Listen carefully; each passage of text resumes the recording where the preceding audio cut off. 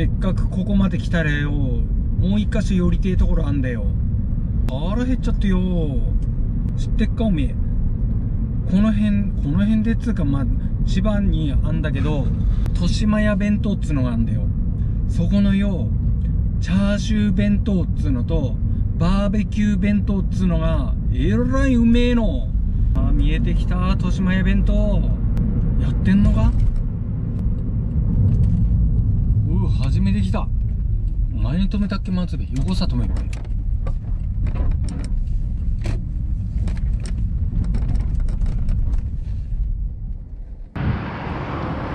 はい。豊島屋弁当。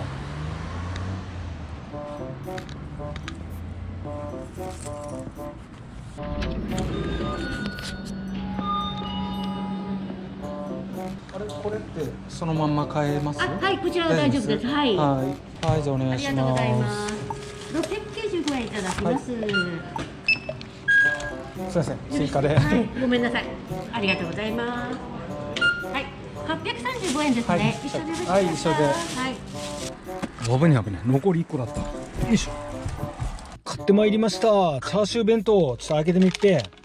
うーん。うまそうな匂いどれ食ってみっか？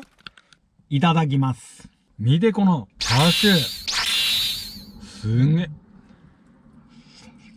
うんめえ。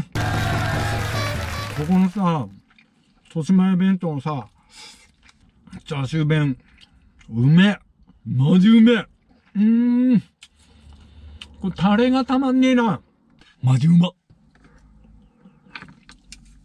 さっきの、保田小学校も、廃校を利用した道の駅なの。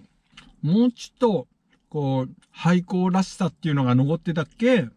よかったんだけど、割と現代チックな感じになっちゃってたね。まあ、いろいろあんだっぺな。チャーシューめ最後のチャーシュー。あー、名残惜しい。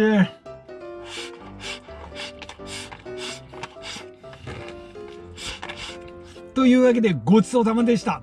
ほんとうめえあの、だからほっぺたが落っこっちゃうっつう表現がよ、ぴったりだっぺで、今日は、あのー、保田小学校行った帰りに、せっかくここまで来たからよ、豊島屋弁当ってところ寄ってチャーシュー弁当食わなくちゃ、あのー、あの、話、まあ、終わんねえべ。で、これな、チャーシュー弁当、695円。これマジうまいから、ぜひ、皆さんも食べてみてください。帰りは一般道でけっぺ。したっけよー。